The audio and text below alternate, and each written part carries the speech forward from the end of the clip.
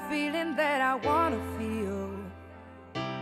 Hi, I'm Taylor Hill, and welcome to the set of Romance by Ralph Lauren. Got a feeling that I know is real, real, real. It's in the way you look, it's in the way you love, and I can see that this is real, is real.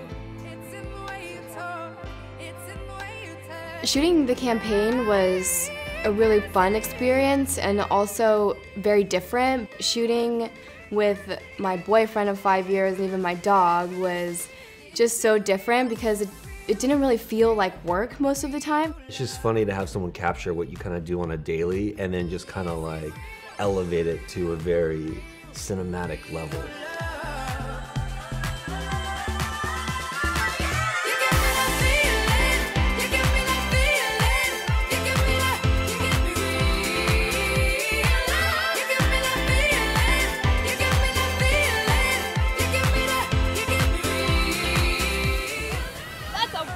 Ha ha ha.